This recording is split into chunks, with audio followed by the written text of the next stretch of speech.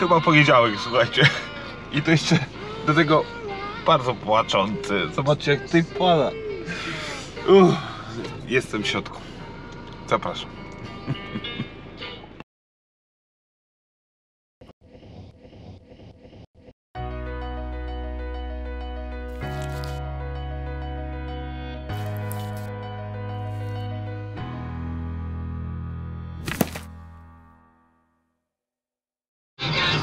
Jedziemy! Słuchajcie, jedziemy! Jedziemy do roboty! Co tu się dzieje? Pogoda jest po prostu do dupy. A my mamy dzisiaj kopać fundamenty? Ja pierdziu. Włączyłem ogrzewanie w samochodzie, choć bluza wisi i mógłbym ją założyć. To już poczekam, niech się samochód nagrzeje. Nie chce mi się tego ubierać. Ubiorę to jak będę wysiadał bo później się zagrzeje tutaj, a- będzie mi dalej zimno e, na zewnątrz. Słuchajcie, plany mamy takie, że musimy wykopać fundamenty dzisiaj. Czy myślę, że to jest ogólnie realne, tylko żeby ta pogoda za bardzo nie przeszkadzała. Bo jeżeli będzie padało, padało, padało, no to niestety nie zdążymy tego zrobić. Jedynie co zdążymy zrobić. Nic nie zdążymy dzisiaj zrobić nie mam pojęcia co moglibyśmy robić. Naszym priorytetem jest fundament, a później ściany, żebyśmy mogli to zakryć. A w tym tygodniu nie wygląda to dobrze, powiem wam. Ma padać cały tydzień i to tak właśnie jak teraz. Nobody knows. Zobaczymy. Jak chłopacy dadzą radę to wykopać, to już później fundament zalać, to już jest bajka, nie? Nie takie rzeczy żeśmy robili w taką pogodę. Nie, pomaga. Słuchajcie, ja pamiętam jak dzisiaj, jak z Karolem robiliśmy ogród. Ogród to było, Boże, dobre 3 lata temu, chyba już teraz, zaraz będzie. I nie było chyba dnia, kiedy to po prostu nie padało. Jak nie padało, tylko na samym początku, to my kuliśmy wtedy ogródek. Okazało się, że tam ogródka z tyłu nie ma, tylko jest beton na betonie. My żeśmy tam naprawdę wywalili z 8 dobrych skipów samego betonu masakra po prostu. To co żeśmy tam znaleźli to była masakra. A mieliśmy przekształcić ten ogród na ten, na trawę. I tam podjazd pod garaż i w ogóle jakieś patio, ale nie, nie dało się niczego zrobić bez e, zrobienia porządku. Niespodzianki były niesamowite. Tam okazało się, że beton nawet w środku ogródka ktoś wylał, bo nie wiem, szopkę może miał kiedyś, I don't know. Straszna historia, ale daliśmy radę, tylko że wiecie, pogoda pogoda była po prostu słaba, nie? Już nie chcę tego nawet po imieniu nazywać. Chodziliśmy w tych żółtych kurtkach, chowaliśmy się do garażu. O, ja pamiętam wtedy tak dojechałem kolana tam na, na tej robocie, było strasznie mokro. Ja w tym betonie jeszcze też mm, klękałem często, bo kładliśmy te slapy. Oh my god, co to się działo? Ja chodziłem jak trendowaty przez rok prawie z tymi kolanami. Miałem takie plamy aż wyżarte od cementu, wyobraźcie sobie. Uff, naprawdę kiepsko. Oby już więcej takich wrótków mi się nie, ten, nie przydarzyło. W ogóle nie dałbym sobie chyba nawet, powiem wam szczerze. Wtedy trochę da- daliśmy sobie wejść na głowę, bo mogłem od razu powiedzieć klientce, co ty, to, to, to nierealne, żebyśmy to wykopali za te pieniądze. A my wszystko staraliśmy się zrobić w budżecie, nie? Błąd, błąd z mojej strony masakryczny. I jeszcze zrobiliśmy podjazd pod dom, różne rzeczy. Także pani chyba zado- zadowolona. Nie dzwoniła co prawda już więcej z innymi rzeczami, no bo to był główny projekt. Ale ona z drugiej strony kupiła dom dopiero co gotowy, tak naprawdę była nowa kuchnia, wszystko było odmalowane. Ona tam niczego nie potrzebowała. Także wątpię, żeby coś potrzebowała przez lata. To był tak naj, naj, najgorsza rzecz, którą trzeba było zrobić dookoła tego domu. Daliśmy radę. A jak?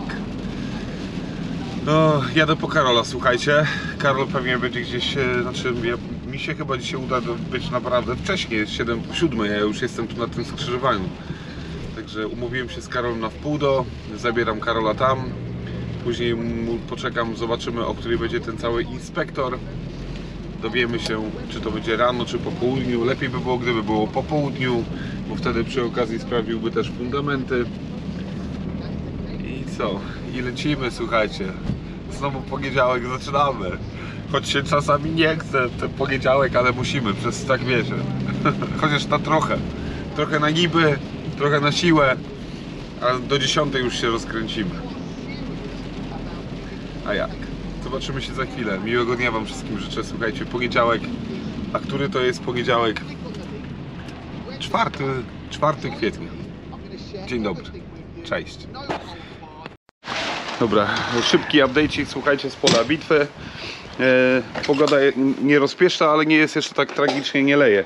Coś tam mrzy, także dzisiejszym zadaniem jest wykopanie tutaj fundamentu, który zaczął być kąpany w tamtym tygodniu i ten element tutaj z przodu też musi być wykopany. Tutaj już mamy praktycznie, to jest nasza głębokość, tak? Tak. No, no to tu mamy praktycznie zrobione. Tu musimy tylko zrobić ładnie, bo przeszkadza nam trochę murek. Będzie to ogarnięte. Easy. Stal, słuchajcie, miód malina. Wszyscy zadowoleni.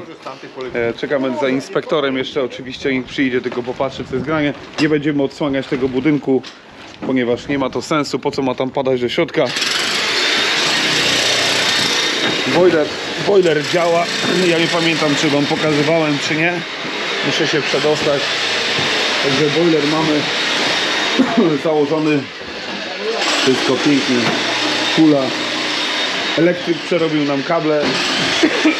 Wszystkie przedłużył. Pamiętacie te kable, które tutaj leciały dołem?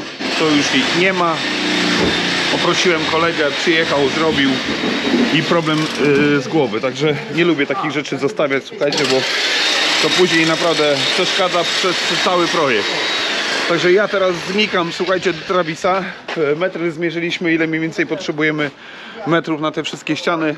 Jadę zamówić pustak, oby jak najszybciej nam go przywieźli gdziekolwiek tam. Let's go, lecimy. Jestem w Trawicie. Zobaczmy jakie ceny będą mieć dla mnie. Na razie wezmę tylko quota, e, bo muszę sprawdzić, jeszcze podjadę do Kowersa. Musimy wziąć dwa rodzaje bloczków, zewnętrzne i wewnętrzne. Ja jeszcze się nie obudziłem, ale zaraz się obudzę. Dobra, mamy werdykt. Słuchajcie, nie wiem, czy będę jeździł gdziekolwiek, jak tutaj mam dobrą cenę. Wydaje mi się, że taniej nie znajdę. Więc, znaczy może bym tam znalazł, ale wiecie, tutaj dealuję z nimi. Może jakieś 10 groszy na bloczku. Sorry, wytrę mam dziubek, bo tu kropelka wody.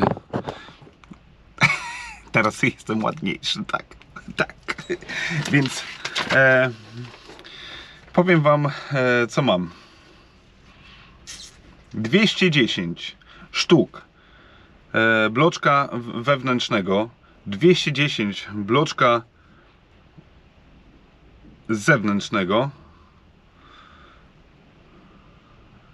Jak on to znalazł? Chyba źle mi to zaznaczył. Policzył mi dwa razy zewnętrzny. Chyba mu się coś popierdzieliło. Ale bo tak jest na fakturze po prostu napisane.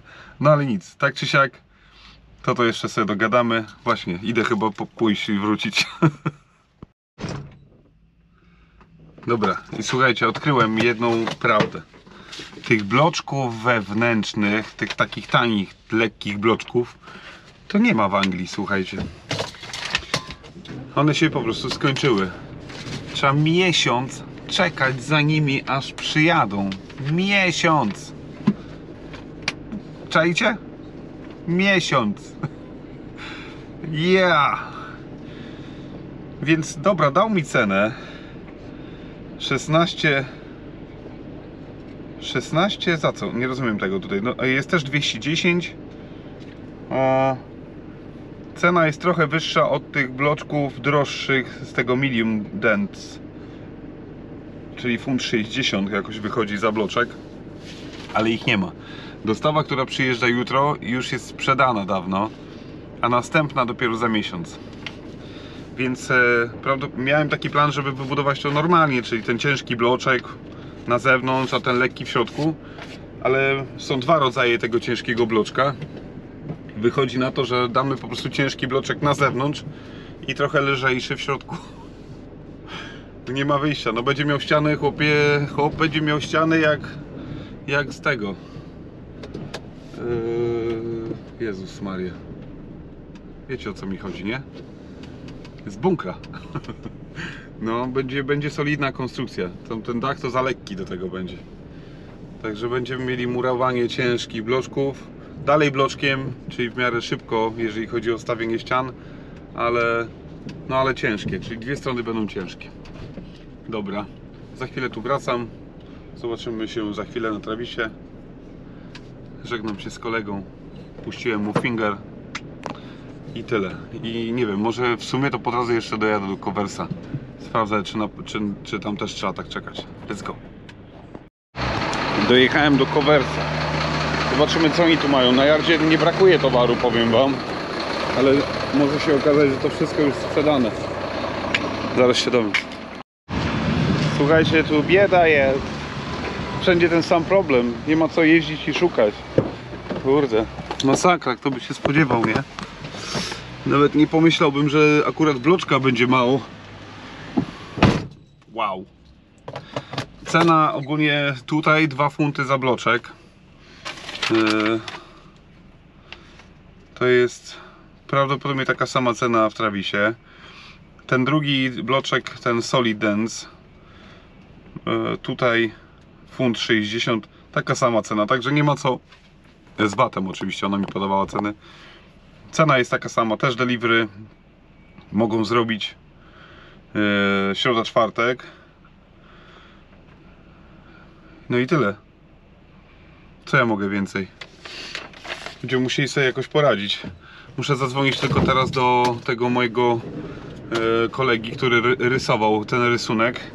Czy to jakaś różnica jest odnośnie, nie wiem, czy możemy wprowadzać takie zmiany, czy to nie ma, nie ma w ogóle jakiejkolwiek różnicy, żeby on potwierdził to, czy, czy możemy budować tak ściany, czy teraz mamy czekać kurwa dwa miesiące na, na ten bloczek, albo będę musiał może jakieś wycieczki sobie robić personalne do Londynu może.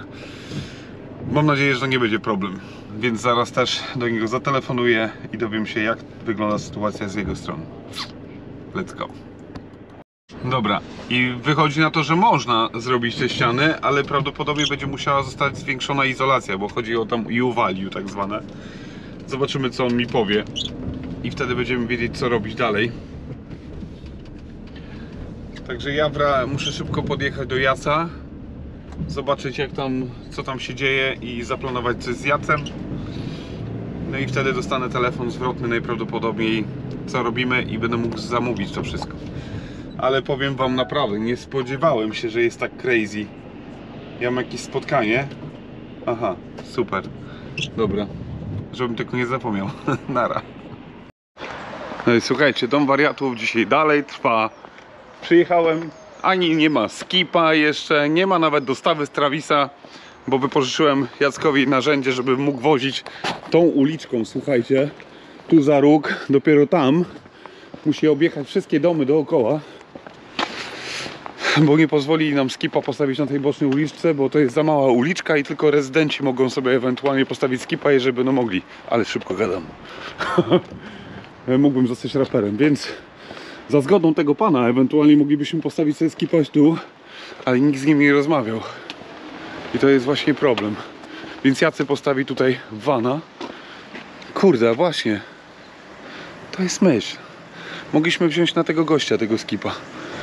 Cholera jasna. Idę z klientką szybko pogadać, więc całą ścieżkę dookoła musimy pokonać ręcznie. Trochę dłużej to zejdzie przez to automatycznie, bo gdyby stał skip tu, byłoby łatwiej, no ale się nie da. Nie pomyślałem nawet, że może byśmy się dogali, dogadali z typem. No niedobrze. No nic, musimy sobie jakoś poradzić. Idę zmierzyć ogródek. Także słuchajcie, ogródek przygotowany. Jestem po rozmowie. Możemy już kłaść kamienie. Nie, no wiadomo, trzeba to wywieźć ogólnie. Trzeba tu zrobić bo porządek. Skipa dalej nie ma, chyba że już teraz podjechał, bo Jacek poszedł tam sprawdzić. Więc ta cała ziemia musi wylecieć, to całe dziadostwo musi wylecieć i dopiero wtedy będziemy mogli zdjąć te dwa płoty. Ale to jeszcze chwila, słuchajcie. Tak planuję, że do środy powinien Jacek sobie z tym poradzić. A ja jadę na zakupy. Let's go!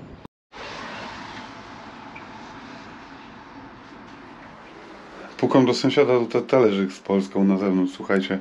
Ale nikt nie otwiera. No nic, szukałem alternatywy z tym skipem. Skipa nie mamy, ale ma maszyna dojechała, słuchajcie. Hello. How you doing? To, to jest nasz czołg.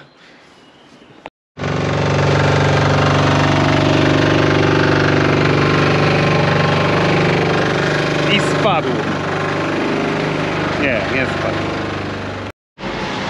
Ja wam, ja wam powiem jedno. Jest za 2012, a on dopiero odjeżdża od nas. To był jego drugi drop. No życie. Ale skipa dalej nie mamy. Życie. Jadę na wycenę, już nie czekam. Powiem wam tak. Jestem na trawisie. Zapłaciłem za te bloczki wstępnie, e, które mają iść na zewnątrz. Piasek i cement. I to ma przyjechać do mnie.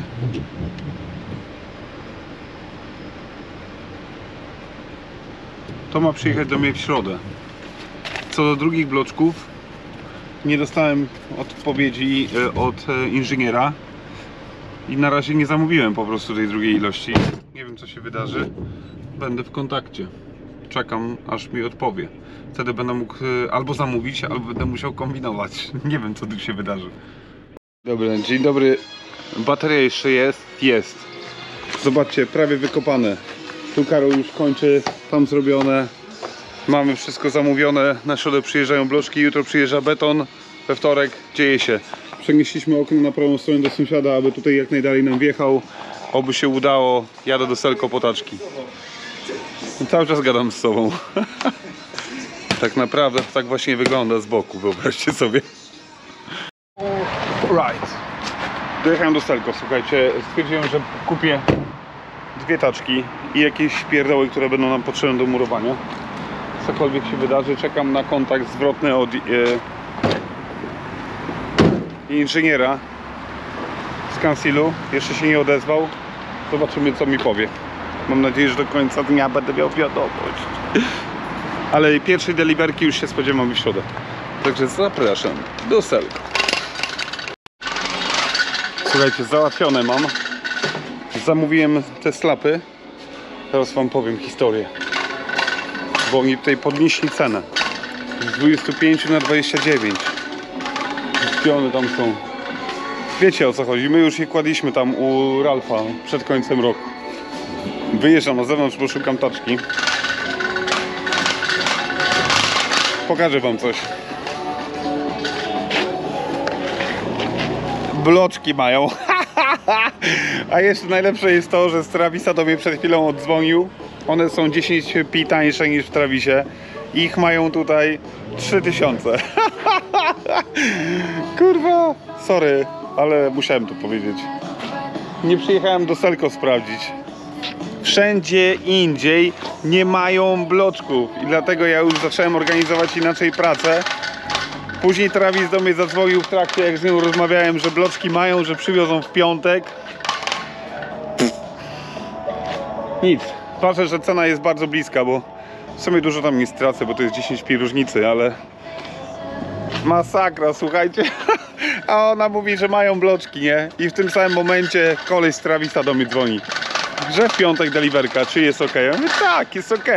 I ona tam sprawdza i mówi, 3000 mamy. Oh my god.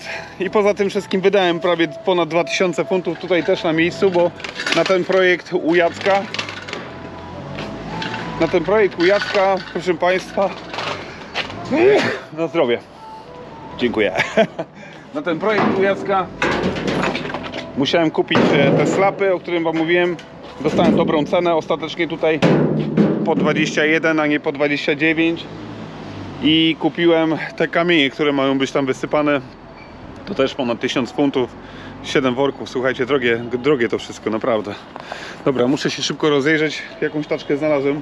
Tam jeszcze jakąś inną, zobaczę, która jest mocniejsza. Jak ja ten przejadę? Będę musiał jechać ulicą, ja nie wiem, czy mam uprawnienia. Kurde, Rafał. Robi się niebezpiecznie. O kurde. No to go. Oh yeah. Uch, yeah.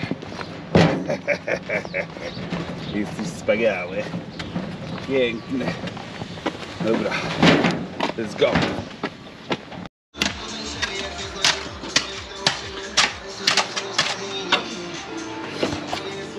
Jeszcze chwilę i będzie ready. I słońce wyszło. To jest niewiarygodne, co tu się dzisiaj dzieje, nie? Dostaniesz małe lanie, zobaczysz. Opuściło nas na chwilę, ale już wraca, już wraca. Chciałem wam powiedzieć, że to będzie ostatnia chwila tutaj, dzisiaj. Muszę się z wami pożegnać. Bardzo dużo wrażeń, ale ogarnęliśmy do końca.